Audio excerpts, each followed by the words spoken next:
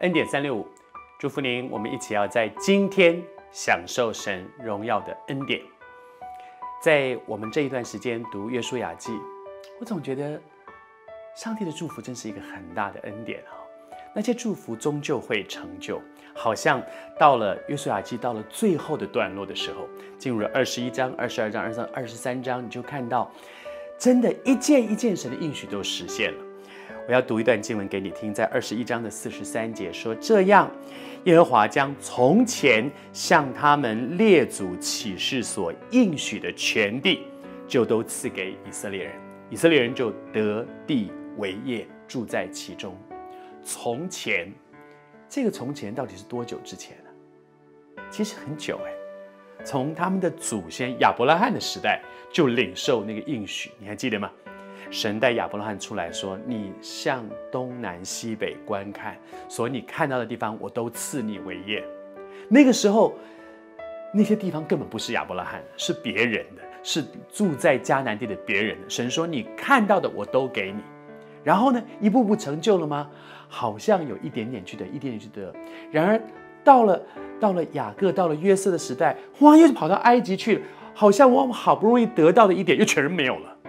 然后在埃及一待就是四百年呢，四百年之后出埃及要进去得地为业，到应许之地，到了旷野那里又进不去了，又在旷野再三的周折，周折了许久，终于又过了四十年之后，过了约旦河，开始一站一站去得地，这又是一个过程。但是你看看这样算下来，真的是。好久的时间，从亚伯拉罕开始领受应许到现在，真的是好长的时间呢。从圣经来看，是从创世纪就开始讲起了，创出立民生书，已经过了这么长的时间。但是从前的应许，不因为时间的耽搁，神的应许就算了。他是信实的主，他说话算话，他说给一定给。而这中间是神单言吗？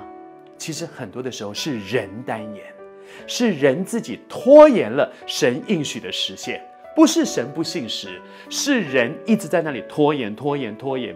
中中间有很多人犯的错误，中间有很多人的自己的主主张要这样做，要那样做。但是不论人如何，人做对还是做错，我觉得在这段经文里面，让我们看见一件事。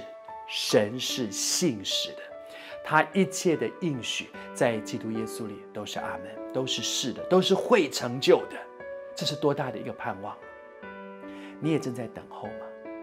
你觉得神曾经透过圣经、透过信息、透过圣灵，有一些感动在你的心中，是他应许要给你成就的。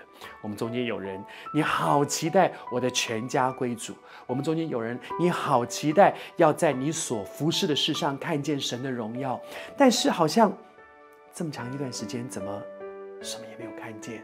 或者有的时候好像要成就了，一转弯又没有了，好像在约瑟的时代。已经走了那么几代了，有些东西好像要得着了，又又到埃及去了，又又没有了。但是我要告诉你，主是信实的主，他说话算话，他说有就有，命立就立。即使人单言了，即使你我犯错单言了神的工作，神永远是信实的，他的应许必然实现。从前的应许，若干年后。神仍然成就，我们一起祷告。主要我特别要为今天在网络前面，在啊所有跟我们一起祷告、一起领受这篇信息的朋友们，主要为他们祷告。